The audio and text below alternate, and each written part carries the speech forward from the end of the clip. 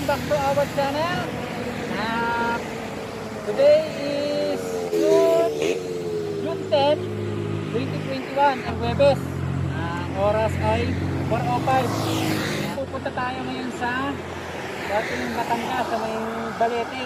May papasalan tayo doong ginagawang project. Parang seaside, uh, baywalk, parang ganun.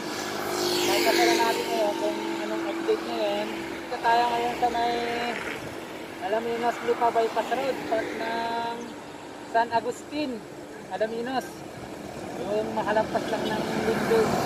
So okay na ngayon guys, ah, samahan nyo kami papuntang Lipa. Tapos diretso ng Balete.